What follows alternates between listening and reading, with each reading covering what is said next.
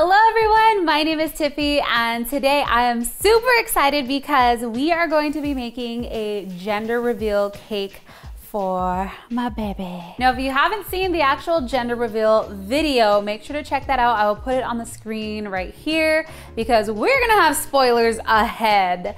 So today I thought we would make a funfetti cake and we're going to color it inside the color of the gender. On the outside of the cake, I am going to create an ombre effect with the frosting from blue to pink so that our guests, which are our family, have no idea what the gender is inside until we cut a slice in the cake. Now I haven't made a cake in a really long time, so I am following a recipe from tasty.co. I will put links in the description. I'm a little bit nervous as well because I haven't decorated a cake in a very long time. I actually had had to buy some more cake supplies just for this video. So we will see how it goes. So first things first, let's get started on the cake. So in a large bowl, I'm gonna combine the flour, baking soda, baking powder, and salt whisk it together and set it aside. I actually just reorganized my pantry, so it's really nice to be baking with it all organized. Next, I'm going to add my sugar, my light brown sugar, and my two sticks of butter inside a mixing bowl, and we're going to mix those together. And we're gonna beat that together with an electric mixer for about four minutes. Then we're gonna add our egg and egg yolk one at a time, beating in between each addition. I have my mixer on a medium speed. Once I've added all of the egg yolks, I'm beating it for an additional three to five minutes so it's nice and fluffy. So I'm gonna be making one substitute for this recipe. Instead of using vegetable oil, I'm substituting it for coconut oil. So I already have my coconut oil melted and we're gonna combine that with our buttermilk and our vanilla extract in a small bowl. All right, so with the mixer on a low speed, I'm going to add one third of the flour mix into this batter. I think I'm just gonna spoon it in.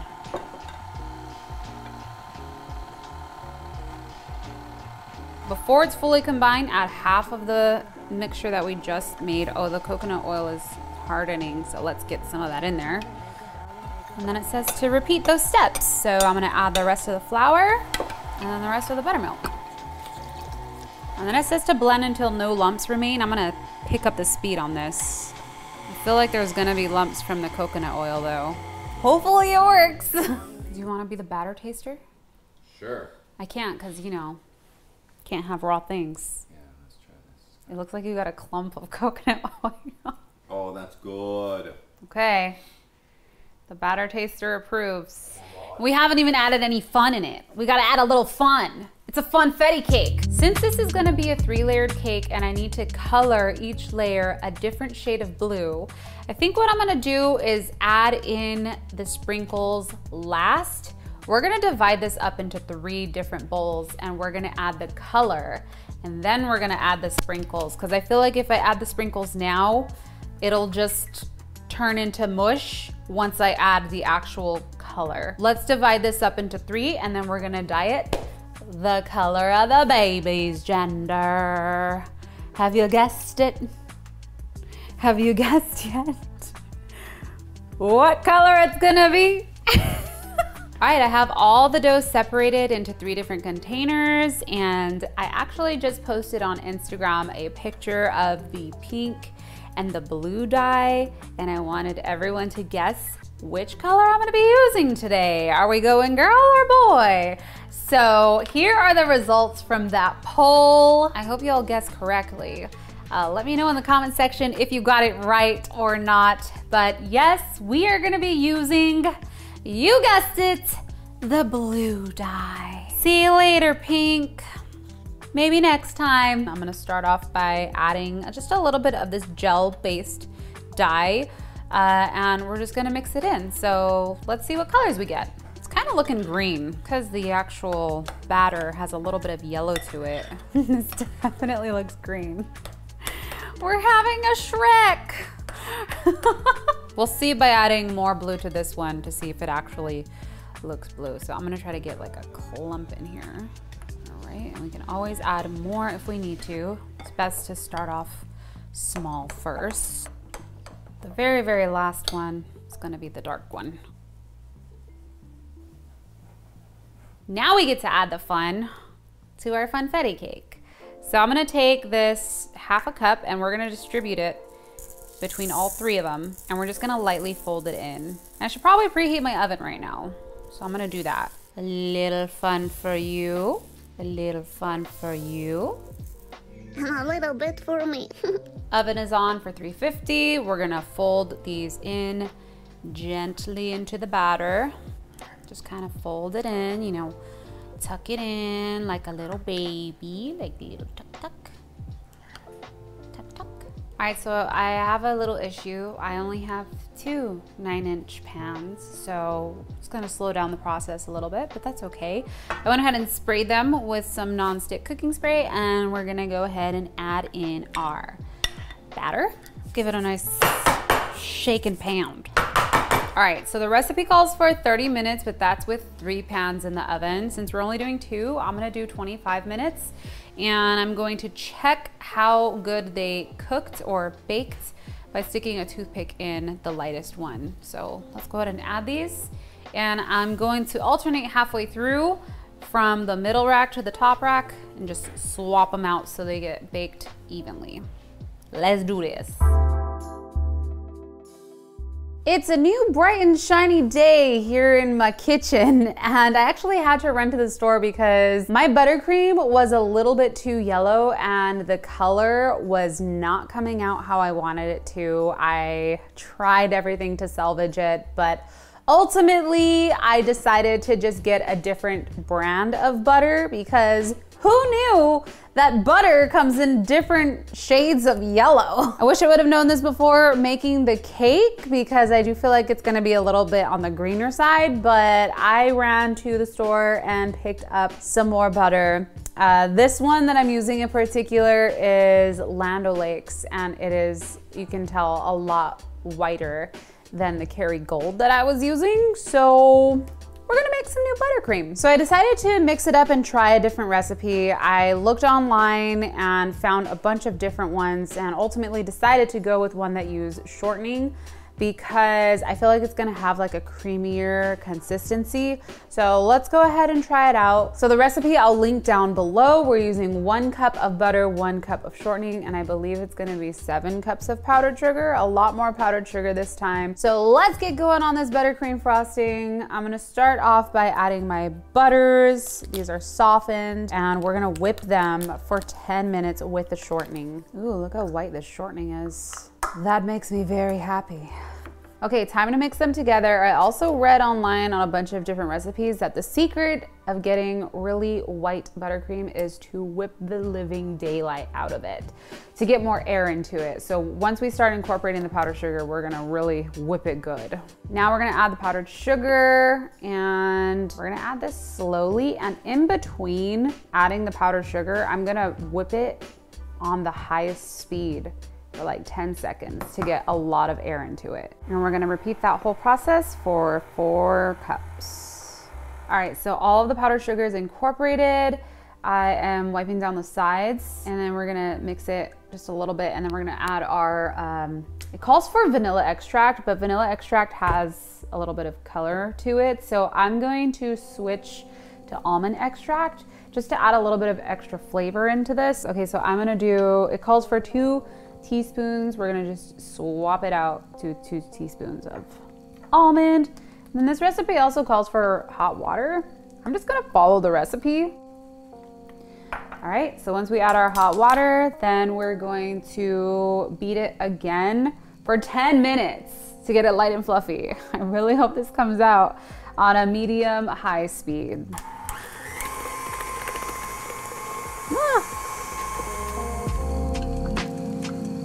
It's been 10 minutes. My little mixer has never worked so hard. It's actually pretty hot right now. But this frosting is amazing. Okay. Oh, look at how white it is. Look at how fluffy it is. It like got bigger. All right, now we're going to make some colors. So the one that I saw on Pinterest that I'm referencing went from blue to white to pink and I thought that we would make two different variations of the blue and two different variations of the pink keep some white for the center so we could get a nice gradient around the whole cake and then maybe we'll pipe some stuff on the bottom if we have enough frosting. Also, sorry you guys can't see the bump today. You know, I was feeling real cute yesterday and today I'm just feeling chill, but I'm still feeling pretty cute. If you didn't notice, we're repping our iHasCupquake collab that we did with Strawberry 17. I'll model it for you. Bam. Bam. Two-tone leggings. Two-tone sweats. Sweats. What? leggings. You mean I could be comfy and cute? Excuse me. We do have some sets available, so make sure to head over to our store, ihascupquake.com. Link will be in the description. Check out what else we got. All right, so we've got our super light pink. We have our like light pink that's a little darker. We have our darker blue and we have our lighter blue and then the whites in here it's time to decorate. All right, let's hope this goes smoothly. Starting with the darker blue. Let's put a couple dollops up there. It looks so pretty. Ooh, I just had enough to cover the top. I'm gonna work on this one slower because I need to put it just in a row. So we're gonna blend this afterwards too. This is, this is an art. This is a work of art. I'm just working slowly. This is something new to me. I'm not trying to pretend like I know what I'm doing. I have no idea what I'm doing. I did watch a couple YouTube videos, so I'm a visual learner. White layer. I might just actually have to blend it like this. And I'm gonna wipe it each time because we don't wanna contaminate the white. Oh. We're not done yet, we're not done yet. Now I could start doing the pink. This next part I'm a little nervous for. That looks awesome. Whoa! What the heck? This looks very cool. I think what I'm gonna do is add a texture all around because it'll make it look like it's blended more. And since this is my first time ever doing this, um, you won't be able to see all of the little mistakes, but we gotta do the same thing to the top. Okay, I'm gonna kind of do a little touch up to the top here. Yes, beautiful. That looks so good. Hey, you done this before? No, never. I'm so nervous right now. I just might mess it up here, but I'm gonna take it a step further. I'm gonna use a knife, a butter knife. I don't have um, like a thinner one of those spatulas, but I wanna put some texture all the way around. So we're gonna try that.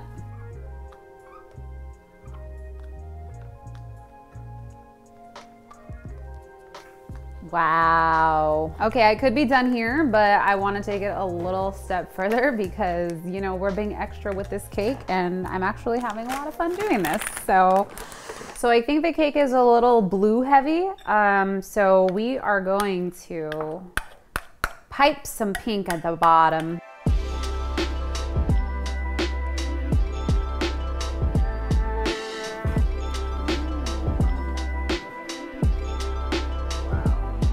I think I did it. I think I did it. Did it. This is so good.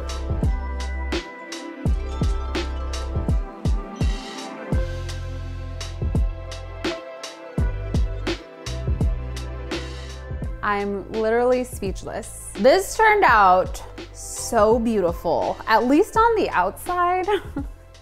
I can't guarantee how it's gonna look on the inside for the actual reveal because, you know, the whole butter incident, but um, I think it came out gorgeous. And you know what? We learned from our lessons. Now we know to choose the right butter if you're making a gender reveal cake. Now you don't have to make the same mistake I did. And the moment we've all been waiting for. Let's see what this cake actually looks like inside. Okay, it's time to cut the cake. We'll see. Oh, see. I'll show you the votes. Here are the Oh, votes. Julie. Girl is in the lead. All right, guys. Time for the gender to be revealed to our family. So we're gonna cut it like this. Here, let's do it Yeah. together. Okay. Okay. Okay, ready? And then we'll turn it a little. So Ooh. hold on, like, I'm gonna wipe this when it comes out. See if there's any color. Oh. Go ahead. Okay, no color. color, No okay. Okay, And if it's brown, it's just this color of their, you know, our, you know, baby skin. So, just letting you guys know.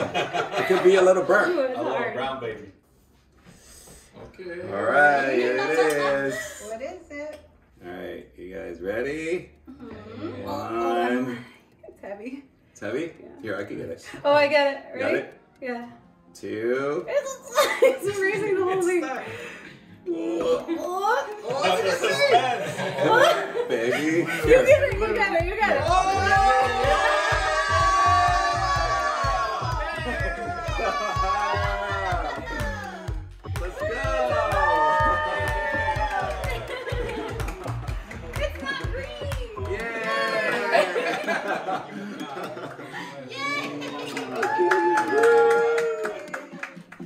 job, babe. Thank you. I think it came out so freaking cute. Like, I don't know how much a cake like this would cost, but One million dollars. I'm pretty proud of myself. And to say that we are, I made my first baby's gender reveal cake is so special. Well, I hope you all enjoyed this video. If you did, please be sure to leave a like on the video. Also check out more pregnancy content. There's a ton of it on the channel live. We also have more content on our Mario and Tiffy channel where we make content together as husband and wife. But thank you guys so much for watching. This was really fun to make. I haven't had this much fun making a cake in a really, really, really, really long time because I think I've only made one cake in my whole entire life. uh, but this was seriously so much fun. Let me know if you want to see more, and I will see you all in the next video. Bye bye.